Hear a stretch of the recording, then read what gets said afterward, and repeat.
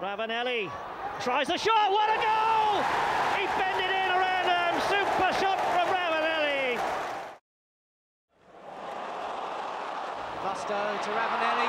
Ravanelli! It's three! Here he goes again. He's rattling them in.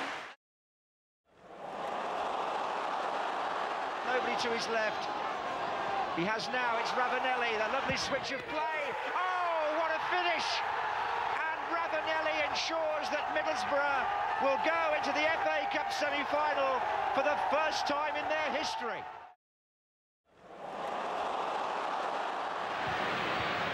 Ravanelli tried to get it back to him. Juninho struggling his way